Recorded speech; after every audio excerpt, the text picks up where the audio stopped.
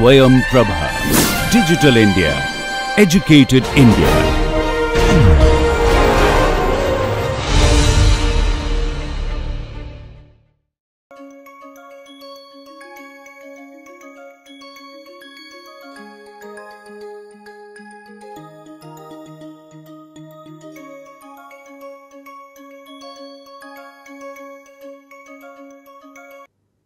In last lecture, Dr. Josh LaBaer gave you an overview of proteomics field and to perform high throughput proteomics based experiment they need to generate the clone repositories and to achieve the high throughput biology and performing proteome experiment what are the key considerations you need to pay attention for generating those clone repositories. Once you have obtained large number of gene clones, now you are ready to perform many experiments. And one such experiment was developed in his lab which is a novel protein microarray technology which is NAPPA or nucleic acid programmable protein arrays. To perform NAPPA, if you have these clone repositories available, you have large number of cDNA clones available, you can print them on the chip and imagine that what goes on in our body to do the central dogma, the transcription and translation process from the genes to RNA and the proteins.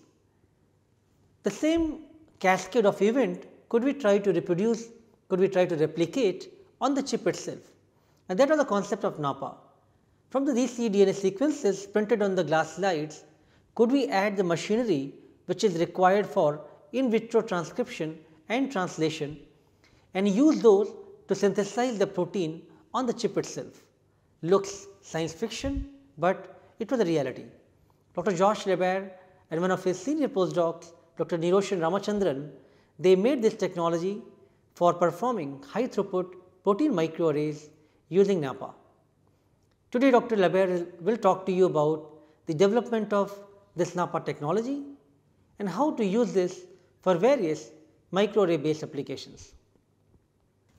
So, let us welcome Dr. LaBaer for his lecture on NAPPA technologies.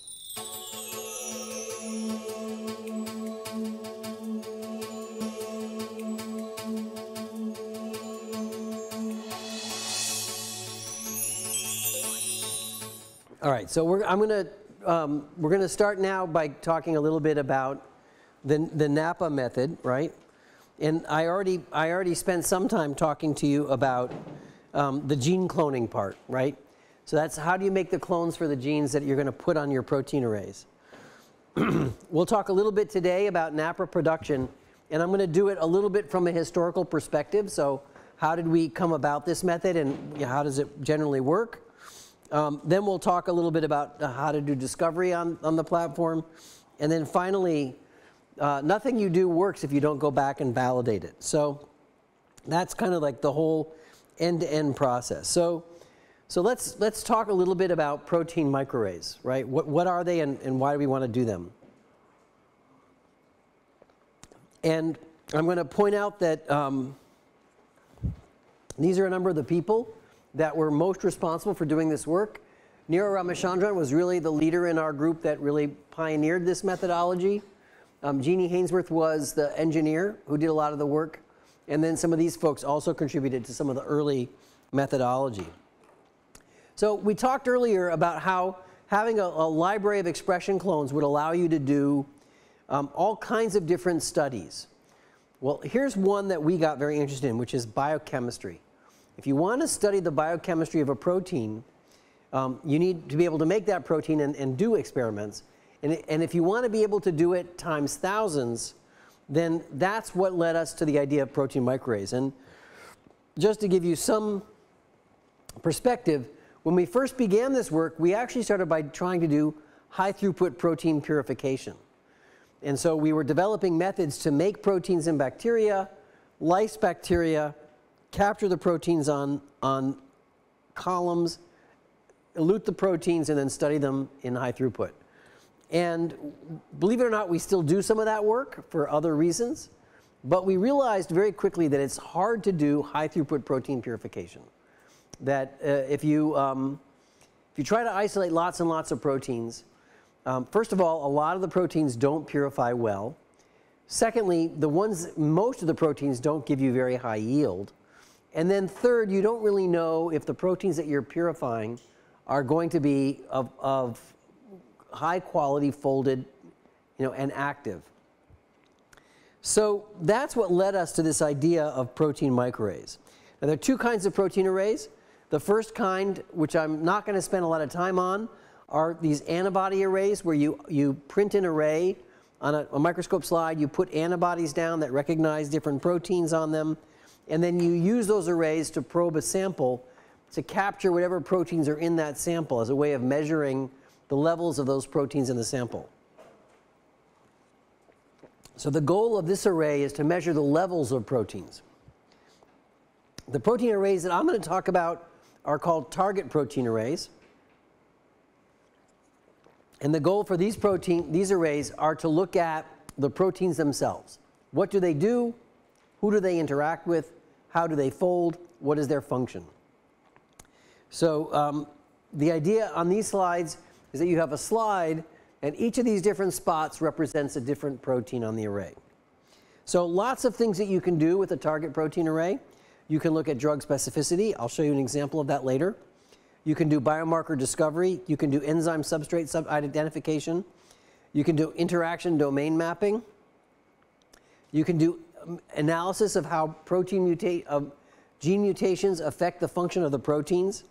You can look at off-target protein interactions. So here's an example of what that might look like. Imagine if you had a fluorescently tagged molecule and you probe the array. You can see which protein that, that, that molecule targets.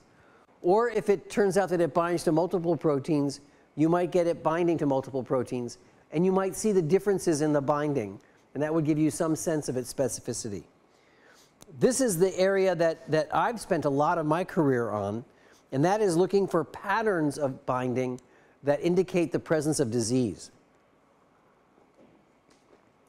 I told you yesterday that we were looking to do um, uh, look for markers for breast cancer, right?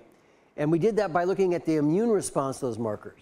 So imagine you take this uh, serum and you apply it against uh, in the affected individuals or the normal individuals. Now, I've shown that a number of spots light up, and I did that for a reason. It turns out that even normal people develop antibodies against some proteins.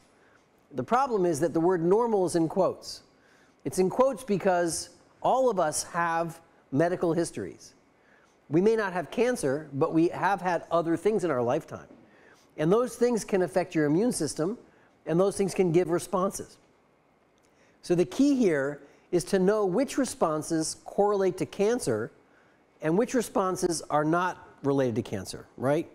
Um, and so you have to accept the fact that there will be these other responses. Um, and then the idea is you do a variety of informatics processing to take these, compare these to these, and look for patterns like this one here that's present in everybody.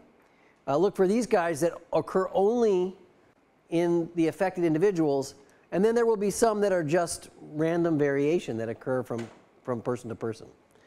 So that's, so that's another approach that we're doing. So, so let's start here by asking the question, what are the ideal qualities that we want in a protein array. What would make an array a really good array? So I would argue the first thing has to be high density. The whole point of a protein array is to get lots of different proteins in a very small space so you can study it. Of course, you want to be able to work with small volumes.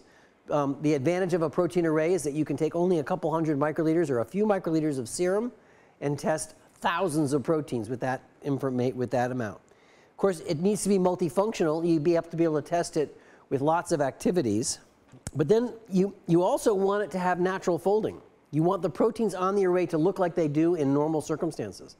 And ideally, they would be made in, in a milieu similar to the one in which they normally occur. You don't want to have to purify the proteins because if you have to purify the proteins, then you're going to end up with um, all the things that can occur during protein purification. Proteins could lose their folding, they could get low yield, they may not be in, in the proper conformation. Um, you obviously want to be able to test as many different repositories as possible. So you want to be able to test any proteins that you'd like. And you'd, you'd like the, the, to not worry about the shelf life of the protein. Once you print the protein on a chip, there's always this worry that the clock is starting. And the longer it sits there, the more likely it is to stop being active or being well folded. All right, so, and of course, you want the levels of protein from one to the other to be very consistent. Those are the things that you'd really like. All right, so, so this is the array type that we're going to talk about today, which is called NAPPA for Nucleic Acid Programmable Protein Array. And the idea for NAPPA is that we print the gene for the protein on the chip and we store the chip as a DNA chip. So the gene is there, the clone, the ones that we talked about in the first half of today, is on the chip, along with an agent that's going to capture the protein when it's made. But the protein hasn't been made yet. Then on the day of the experiment, we add a cell-free extract, make the protein and capture it, and then we, we display the protein at that time, fresh. And so the idea of NAPPA is that we can do all kinds of studies on it. We can do interactions with specific protein queries. We can do en enzyme substrate modification. We can even build multi-protein complexes. So let me begin at the beginning by showing you the, the idea behind NAPPA before it was actually on a protein array. So here what we're looking at is just making proteins using cell-free extract in the wells of a 96 well dish. Okay? So um, the proteins that we make all have a GST tag at the C terminus. Remember, we talked about you always have to have a tag. So these guys all have a tag. And so if we, if we make the protein in these wells and we probe them with an antibody that recognizes the tag, they all light up, right? But if we probe them with antibodies that are specific to each individual protein, then only the P21 lights up at P21. Only the 16 lights up at 16. Only the FOS, and so on and so forth. So um, depending on what you use as your antibody, you only get that signal. Now you can use the same approach to look at, at interaction queries. In this case, here's a bunch of different proteins on a chip, right? And in chip, I mean in quotes because these are actually the wells of a 96 well dish. Um, if I probe with the protein P21, it binds to all these CDKs, it binds to these cyclins, it binds to um, these guys here, and it binds uh, actually to itself again. So um, th those are the interactors for P21. If you probe with a different query, in this case CDK4, it's going to bind to the cyclin Ds and it's going to bind to P16. And if I probe with P16, it's going to, it's going to pick up these CDKs. So you can see using different queries, I get different interactors. And again, this is not a microscopic array. This is a 96 well dish. Well, of course, um, the advantage of this is now I don't have to express these proteins or purify them. Um, they were made using um, mammalian extracts. Um, the levels of proteins were consistent on, the, on this chip. Um, they were made at the time of the experiment. So I made the proteins and I tested them minutes later. Um, and of course, I could do this general approach using any kind of cDNA. If I can clone the gene and make the cDNA, I can make the protein array. And then um, uh, we, we talked about the multifunctionality. Um, and, and, of course, users can modify this as they need to. Um, but there are still some challenges. So um, we need to make, we need to now take it from this format, which is on 96 well dishes, and we had to get it onto a microscopic chip. We had to be able to print it on slides so that we could do thousands at a time. So we had to be able to deal with very low amounts of protein. We need to make at least 10 femtograms of protein. We had to get capture that was rapid. We had to find arrays that were compatible with standard array readers. At the time, we really wanted to work on a single slide format um, that, that, that where we could add the extract to the whole slide. We didn't want to have to manufacture these specialized um, uh, methods for expressing in little tiny wells or something like that. I'm going to come back to that because we now are moving in that direction. But at the time, we really wanted this to be very simple. And of course, we had to avoid crosstalk from, from, from spot to spot. So let me talk about the technology. So most people who build protein arrays do it by purifying the proteins first. Um, they, they, they do what we started with, which was this high throughput purification kind of technology. Uh, and they do it in 96 well plates or even 384 well plates. Um, but they have a couple of problems. First of all, um, you get very highly variable protein yields. So the amount of protein that you get from, from uh, uh, one protein to the next can change over four logarithms. So four orders of magnitude of difference. They, they get, um, they're working typically in heterologous systems, so they're either purifying in bacteria, or they're purifying from yeast, or they're purifying from insect cells. And that in and of itself introduces some differences. And of course, the biggest concern I have is array shelf life. So you purify the protein, you store the protein, then you take the protein out, then you print the protein, and then you store the printed protein.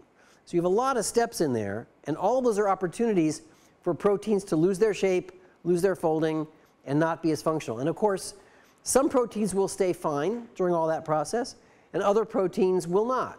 And you never know which ones they are. There's no way to tell which ones are the good ones and the bad ones. So this is the idea behind NAPPA. In, in the case of NAPPA, what we do is we print the gene on a plasmid. We add cell-free extract that makes the protein. And this is meant to show that we have the protein in blue and the GST tag in red. And then here's a different protein in yellow and a GST tag in red. So we make this at the time of the experiment, and then what's going to happen is, um, yeah, I just told you that, is that the GST is going to get captured by the anti-GST antibody, and now you're displaying the protein on the surface.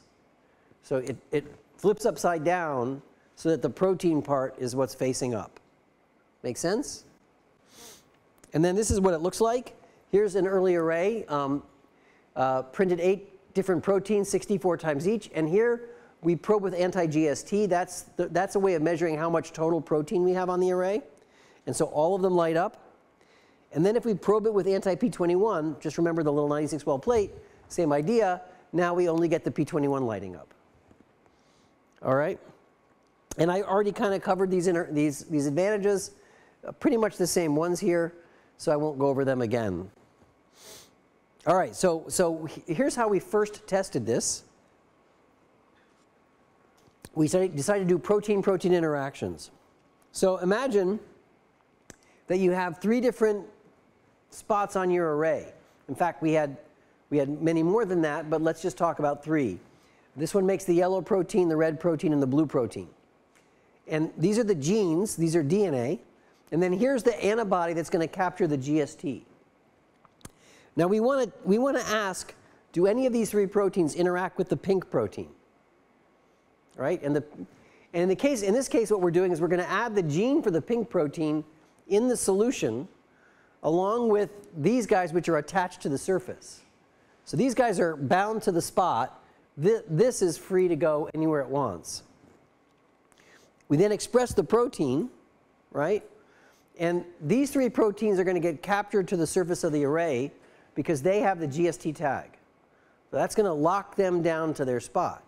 But this does not have a GST tag, so it's going to float everywhere on the, with, uh, across the array. And then over time, if you give it time, the query protein will bind to the target proteins if it recognizes them. In this case, it binds to this guy, but not these guys. Right? And so now I can wash away anything that's not bound. And I'm left now with this guy bound to this spot. Now, how do I know where it binds? Well, I know the identity of every spot on the array. I know whatever position it is, which gene it is. And so I know that if this spot lights up, that pink binds to red right? And I can detect that interaction with an antibody that has a fluorescent marker on it that will recognize either a tag on the pink protein or it can recognize the pink protein itself. Now there's all kinds of variations you can do here. Um, it, you could use click chemistry to look at interactions and we've done that. You can um, uh, uh, uh, have you know, other molecules that interact with this guy, avidin and biotin, lots of different strategies. But the bottom line is as long as you can recognize the query protein, you can determine where the binding occurred. So our first experiment was this guy. We took all the proteins in the human DNA replication complex. Uh, these are, the, this is um, that collection there. Cloned all those genes and then we printed them and expressed them. And this is measuring with GST just to show that they all got made, okay? And everybody was done in duplicate, so they were all there in two spots. And then we, we would query the array using an antibody, using this protein here, one of the proteins in the set, MCM2. And, and then you can see that MCM2 binds to ORC5, ORC, ORC6, and MCM3. And here it is binding to these guys over here. And of course, it does it in duplicate, so we know it's, we're confident of the, of the result. You could do the same thing with a different protein. This is ORC3. And again, it's binding to certain proteins, but not other proteins. So you have every other protein on the array is sort of a negative control, right? And you can merge the two images if you wanted to and even build, use that kind of thing to build an interaction map for all the proteins in the complex with all the other proteins. And that's effectively what we did. We identified, um, we, we queried over a thousand possible interactions. We identified 110 of them, including many new ones using this general approach. So you can use this to kind of look at protein-protein interactions. And of course, you're not restricted to looking at full-length proteins. If you want to map the binding domain of specific parts of proteins, you can do that. So in this case, we were looking at um, where does this protein geminin bind to this protein CDT1? So we took CDT1 and we made a series of different deletions, right? And we showed that all of them were expressed on the array. And then we probe them with geminin, which interacts with them. And you can see that geminin binds to some of them, but it doesn't bind to others. So that gives you some sense of where the binding site is, right? This line here, if, that, if this part of the protein was present, then it always bound. So that allows you to map quickly where two proteins may talk to each other. And then um, Niro went back and made a very small version of this guy and showed that it was sufficient for binding. Um, the other thing that you can do if you want to play with these arrays is you can actually you can look at the possibility of multiple proteins interacting together. So we knew that um, CDT1 bound to the MCM complex. We could tell that by looking because of biochemical studies that have been done before we got involved. But we did not see um, CDT1 directly interacting with any of the proteins over here. This is a map that came from that big map I showed you. And what we, did, what we figured out was that although CDT did not bind to any of these proteins, it did bind to this protein, and this protein bound to that protein. So maybe this protein here is acting like a bridge protein it's holding CDT1 in connection with that complex, right? So the question was, could we test that on the arrays, right? And we did that by, by doing a couple of things. We, we could probe um, M MCM2 we knew was in this complex, so we probed MCM2 against CDT1 either with CDC6 or without it. Um, and we, as a control, had MCM5, and we also had um, a negative control CDC 45. And, and this is just to show you what that looks like. This just shows you that all the proteins were made on the array. If we add MCM2 um, without CDC6, you don't see any binding here. But you do see the positive control MCM5 indicated. If you add MCM2 plus CDC6, now, now you can see the CDT1 binding. It's pretty faint. I'm not sure you can see it where you are, but we definitely observed it. Okay. So um, uh, we're, we're going to spend more time later in the course talking about the high density arrays, but I want to give you a flavor of, of what we had to do to get now from these arrays, which I showed you showed had around you know 50 proteins on them. The goal, of course, I told you from the beginning was to get to thousands. So how do we adapt a platform to get to thousands? So um, uh, um, yeah, so we were working in sort of dozens range. We, need, we, we were, we, at those days, we were using MaxiPrep DNA. If you're going to do thousands of proteins, and you remember that what we need to make is DNA, not protein. And that's advantageous because it's easier to make DNA than protein, easier to purify it, and much easier to quantify how much you've made. But still, as easy as it is to make DNA, if you want to do an array of 10,000 proteins, then you have to prepare 10,000 DNAs. So you need to, you, you can't do that by maxi prep. You have to be working at small scale that's reproducible and reliable, yeah? Um, we were using this streptavidin biotin uh, chemistry to do our arrays at the beginning, and that clearly was not going to work because uh, uh, it's expensive and it, it, involved having to stick them in the UV box for a while. It was really kind of a pain in the butt. Yeah, the UV cross-linking part was uh, cumbersome. Um, uh, and we needed to do some optimization and we needed to increase our content. So I'm going to fast forward a little bit. Um, I'm not going to go through all of the optimization experiments that were done. You're going to learn how to make these arrays using our current approach. Um, but um, we spent a lot of time working on the high density printing, developing a better capture chemistry, figuring out how to make DNA in high throughput, and, and figuring out how to detect the interactions in a, in a more ready and easy way. And this is sort of the result of all that work. What you're looking at is kind of our current version of, of what we do most of the time for NAPPA now. On the left is one of our typical arrays, around 2,300 genes or proteins printed on the array. Um, the, the signal you're looking at here is the DNA signal. So we stain the chip every time we make one for DNA, and that tells us that our printing was good, right? Because remember, what we're printing is DNA. So if we stain for pico, with PicoGreen, and we see even staining, that means that we did a good job of printing even amounts of DNA. Then we convert it to protein and we measure it with anti-GST. And that tells us how much protein we have on the array. And that tells us that not only do we print well, but we can express and capture the protein as well. All right? And that's what this plot shows you here. In the x-axis is DNA signal, that's the PicoGreen. In the y-axis is GST signal, that's the amount of protein made couple things that you can observe here. First of all, in terms of the x-axis, the vast majority of our spots line up very evenly around this area here. That means that we do a pretty good job of printing the same amount of DNA for every spot. And that's encouraging. It means our printing is good. Um, you'll see that there's a few down here that did not print well, and so it's good to know that.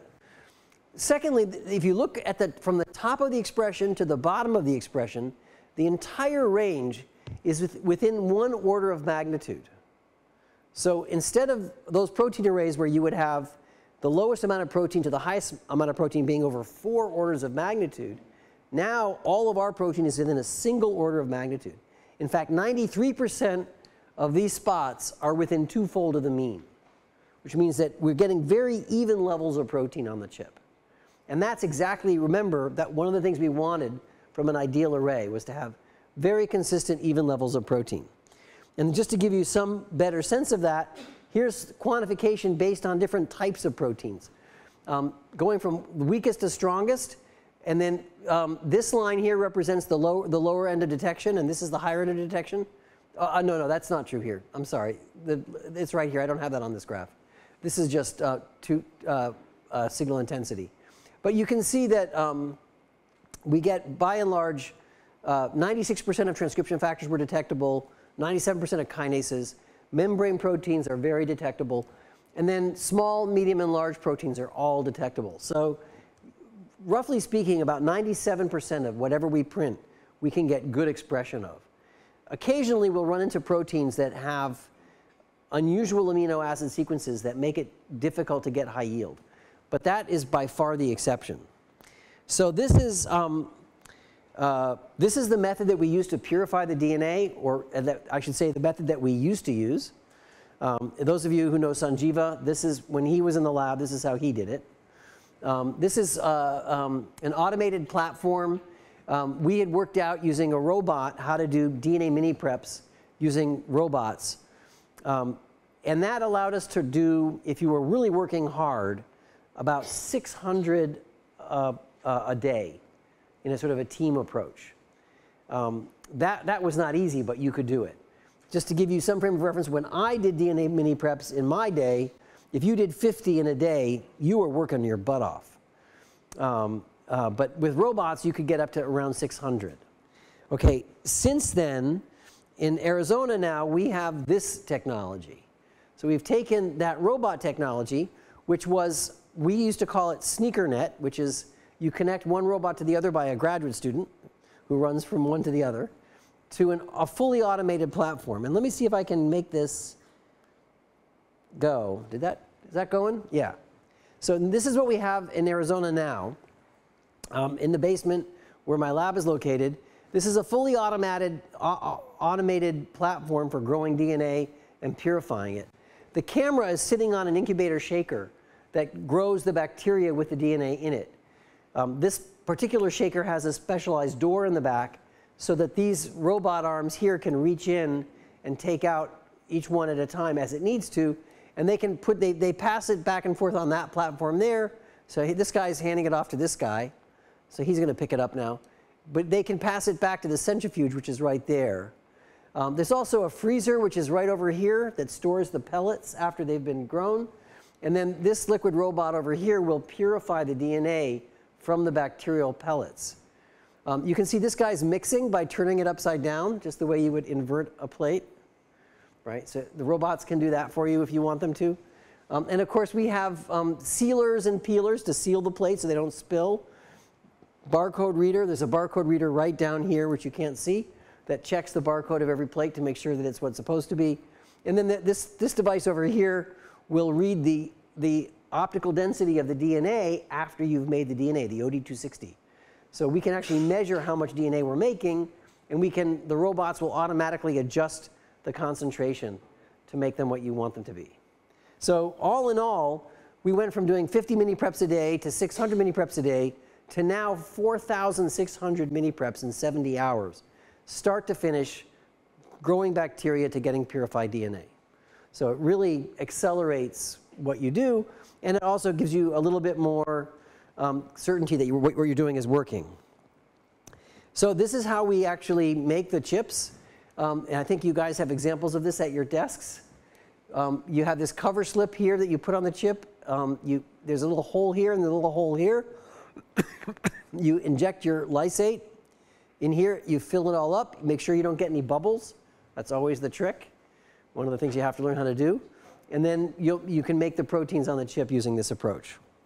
Um, this just indicates that you can um, map uh, a more high uh, higher throughput version of mapping where binding occurs. Here's an example of an antibody that was binding to the P53 protein. We did a series of N-terminal deletions, and you can see it binds to all of them until it gets to here. We did C-terminal deletions, and again, it binds to here, and then you don't see it. And we did fragments that walk across the protein, and of course, it binds to just that one there. So there's been a couple of, of, of advances that, that have occurred in the last, I would say, several years. When we first started this work, we were using reticulocyte lysate from, from rabbits to make proteins. That was the expression lysate that we used to make proteins. And I will say that still works okay. Um, this is what that looks like. So you've been seeing arrays that look like this now most of the day. Um, blue is okay expression. Green is better expression. Orange is really good expression. Red is like amazing expression, okay? So that gives you some flavor of the thing. And we were quite happy with this, um, but then the patent ended on that and new companies came out and a new version of lysate came out that was made from human cells. The advantage of the human lysate was that it, it came from a purified cell line, so you didn't have to get so much variation from animal to animal. And this is what the signal looked like. Just unbelievable signal, about 15 times stronger than we could get from the rabbit lysate. This is whole human extract that includes human ribosomes and human chaperone proteins, which means that, the, that it, there are proteins in the lysate that help these proteins fold in their natural, in their natural shape.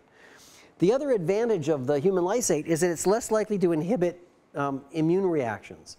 So one of the problems that we used to see with rabbit reticulysate was every once in a while when we were looking at this is a person who was vaccinated with an antibody to, these, to this anthrax, um, that even after a vaccine, we saw no response on the chips. If we made the same chip with human lysate, we saw very good responses. Probably what's happening is in the human lysate, I mean in the rabbit lysate, there are, because it's from blood, there may be inhibitors of immune response there. And those were blocking it on the chips. But the human lysate comes from a purified cell line. There's no immune system around, and so you don't get that problem. So I'm going to show you just uh, a couple of applications of this approach, and then um, uh, maybe even just one. So um, we've talked about immune responses. The classic immune response is by ELISA, where you, you coat the well of a 96 well dish with your protein. You add serum to the, the, the, the wells, and then here's a patient who had a strong response, and here's a patient who had no response. Uh, of course, if you do ELISAs, you're doing one protein at a time. It typically requires a lot of protein to do that.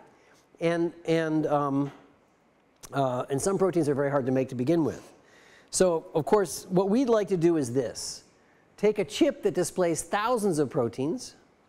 Did that Okay, so the idea is you probe a chip with um, serum and then various spots on the chip light up. And we've talked about all these different types of assays, so I won't belabor that. So, so let me give you one example. We'll talk about more as the course goes on. This is um, pathogen proteins, right? And um, what you're looking at here, I remember I mentioned tularemia when you asked your question. That is the entire proteome of Francisella tularensis. In fact, it's the entire proteome in duplicate. So we got them all onto a single array. So, because um, uh, we, in the end, we got that to work. These five chips are cholera, so um, Vibrio cholera. And then this chip here is just outer membrane proteins from an organism called Pseudomonas aeruginosa, which is the organism that causes pseudomonal pneumonias. It's the leading cause of death in patients who have a disease called cystic fibrosis. I'm going to spend a little bit more time on this guy. So there's around 300 proteins on there.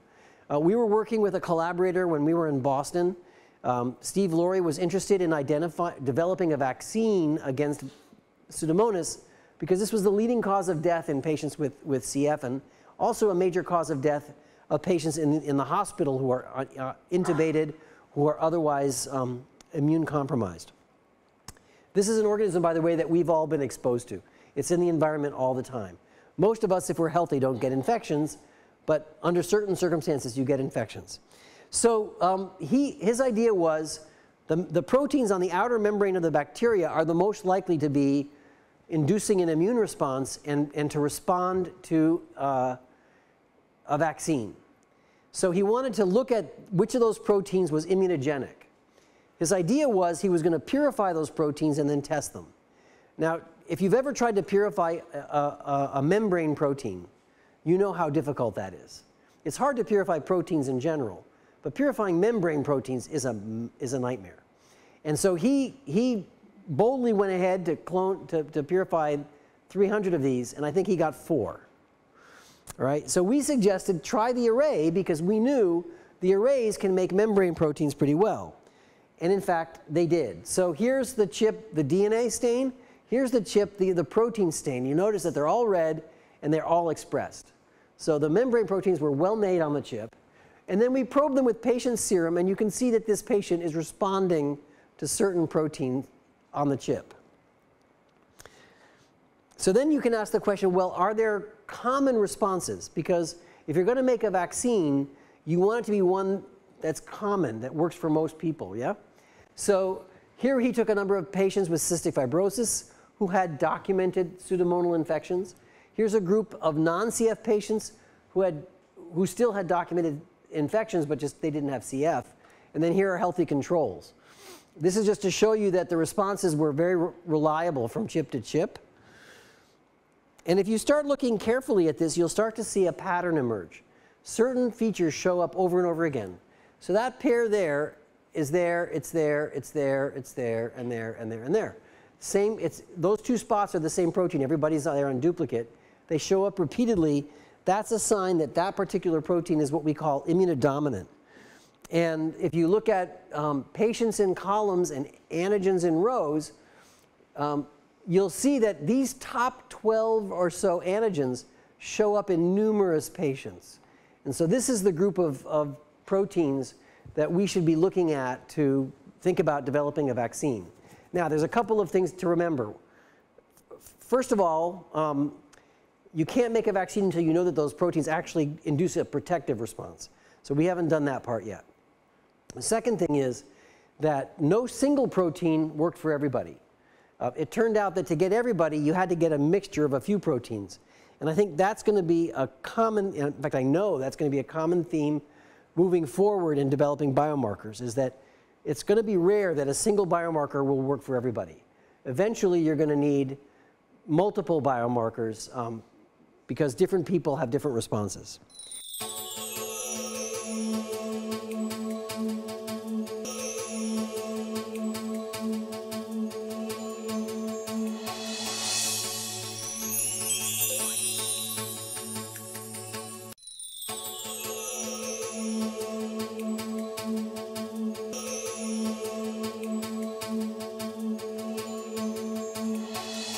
So I hope you got a very good overview of how this fascinating technology, nucleic acid programmable protein array was developed.